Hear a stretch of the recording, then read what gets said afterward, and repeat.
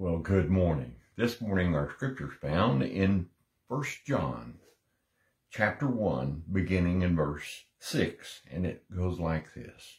If we say that we have fellowship with him and walk in darkness, we lie and do not know the truth.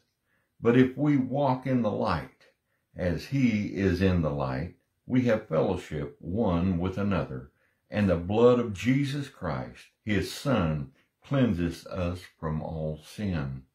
If we say that we have no sin, we deceive ourselves, and the truth is not in us.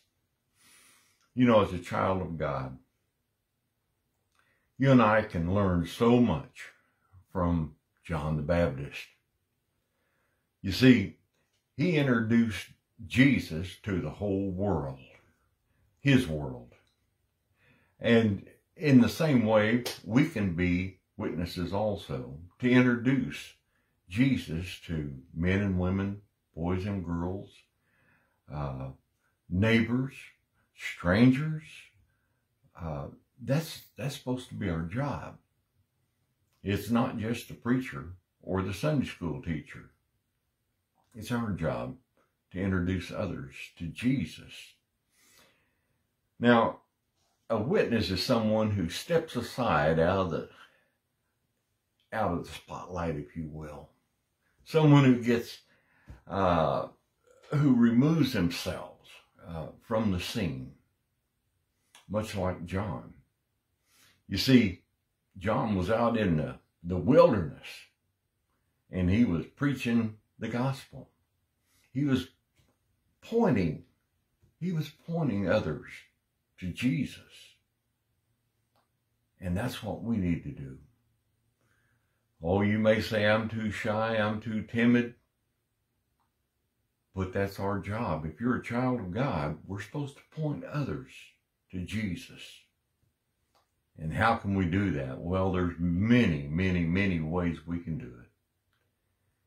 We can verbally, you know, uh, talk to them about Jesus. Some of us can, others can't. We can show kindness to, to many people. And uh, when they thank you, no, thank Jesus. He sent me.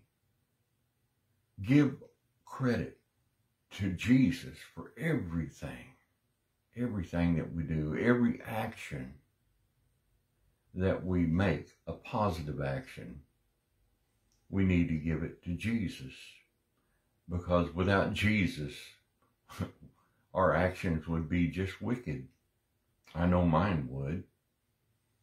So we need to concentrate on trying to be a little John the Baptist in our neighborhood, in our community, pointing, just pointing others to Jesus, to the cross so that they can have eternal life. Well, I hope this encourages someone to go tell someone about Jesus today.